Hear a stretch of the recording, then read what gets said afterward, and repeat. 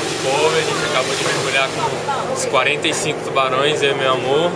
Foram dois mergulhos de mais ou menos meia hora cada. E a gente, daqui a pouco a gente vai comprar o DVD aí para mostrar para vocês como é que foi essa aventura.